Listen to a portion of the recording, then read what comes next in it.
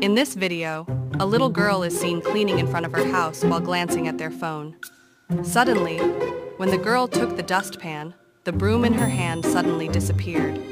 The girl was immediately shocked and looked around for the broom, but couldn't find it. The little girl then scratched her head in confusion while trying to remember what had just happened. With hesitant steps, the little girl decided to go into the house to get another broom. Then the girl accidentally dropped her cell phone on the ground.